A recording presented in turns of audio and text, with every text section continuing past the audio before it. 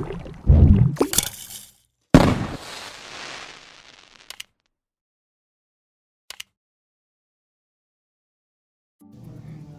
aksi heroik pasukan elit Indonesia yang buat banyak negara lain terperangah. Walaupun bukan yang terhebat atau terkuat, namun pasukan elit Indonesia merupakan pasukan yang cukup ditakuti dan diperhitungkan oleh banyak negara di dunia.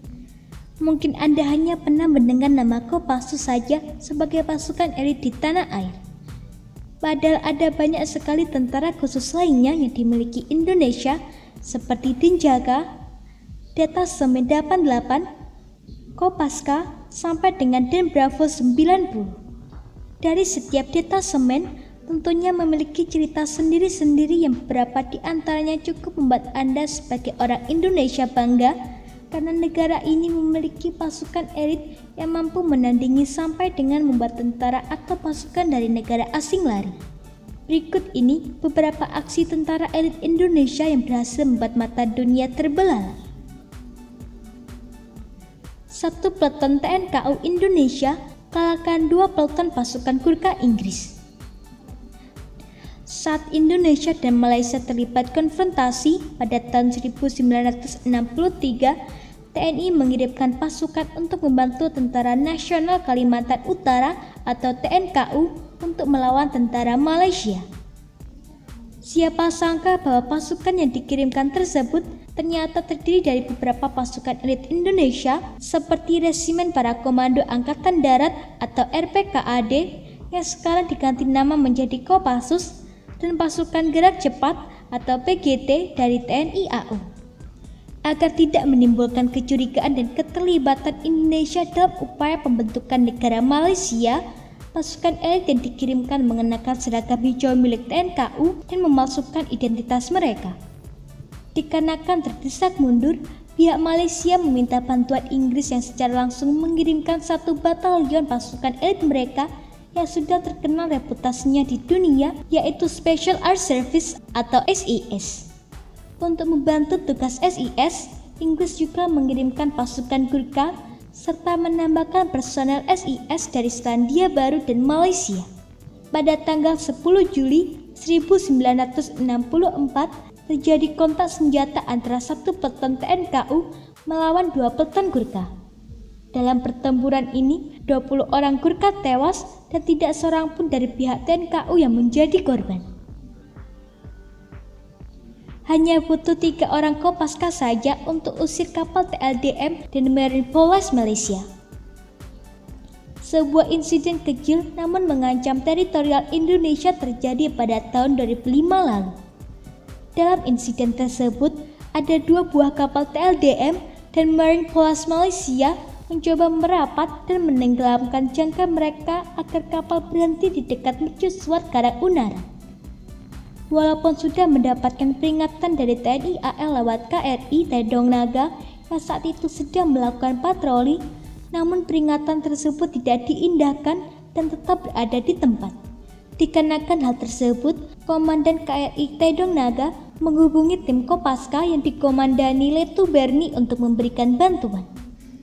Tidak berjumlah puluhan atau bahkan ratusan, hanya cukup tiga anggota Kopaska saja yang terjun untuk mengusir dua kapal dari negeri jiran tersebut. Ketiga anggota itu bernama Serka Ismail, Sedamu Hadi, dan Kelasi 1 Yuli Sungkono untuk mengecoh perhatian para awak kapal milik Malaysia tersebut, Serka Ismail memerintahkan agar motor boot yang dikendarai ketiganya untuk melaju secara zigzag. Strategi berjalan lancar, para ABK kapal Malaysia terpancing untuk terus mengamati pergerakan motor boot, sedangkan Serka Ismail menyelam, mendekati, dan masuk secara diam-diam ke salah satu kapal. Tanpa senjata, dia mendobrak pintu kapal dan memerintahkan untuk segera pergi dari teritori Indonesia. Walaupun sempat terjadi ketegangan, namun Serka Ismail berhasil membuat kedua kapal kembali ke negaranya. Kopassus menyerbu markas milisi Ambon dalam waktu dua jam saja. Masihkah Anda ingat akan tragedi kerusuhan yang terjadi di Ambon pada tahun 2001? Ternyata kerusuhan tersebut juga dimanfaatkan oleh sejumlah pihak untuk semakin memperkeruh suasana. Banyak miliki lokal sampai luar Ambon yang terus menciptakan suasana memanas di kota tersebut. Bahkan ada banyak senjata api dan juga bom yang bukan rakitan terlihat dibawa oleh para milisi, pada senjata-senjata tersebut hanya dimiliki oleh angkatan bersenjata saja.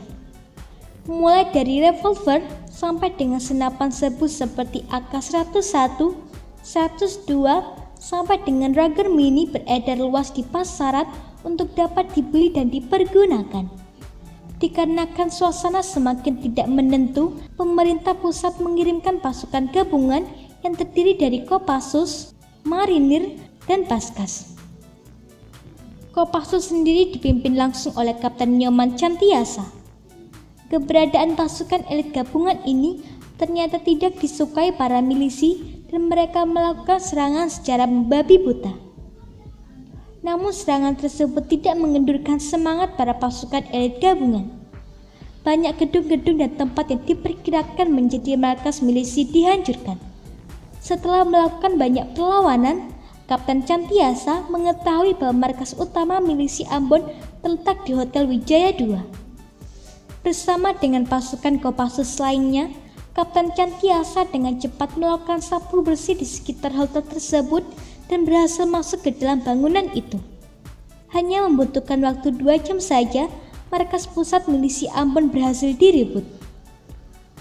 Yang perlu diingat lagi adalah bukan keberhasilan Kopassus dalam melakukan penyergapan di markas utama para perusuh, melainkan senjata yang digunakan oleh pasukan TNI AD ini hanyalah senjata-senjata yang sudah ketinggalan zaman. Karena pada tahun-tahun itu Indonesia sedang diembargo oleh Amerika Serikat dan EU agar tidak dapat membeli alutsista modern. Para komando Kopasanda menggagalkan membajakan pesawat Garuda Indonesia penerbangan 206. Pada tahun 1981, terjadi aksi pembajakan pesawat yang dilakukan oleh lima orang teroris yang dipimpin oleh Imron bin Muhammad Zain. Para teroris ini merupakan anggota kelompok Islam radikal bernama Komando Jihad.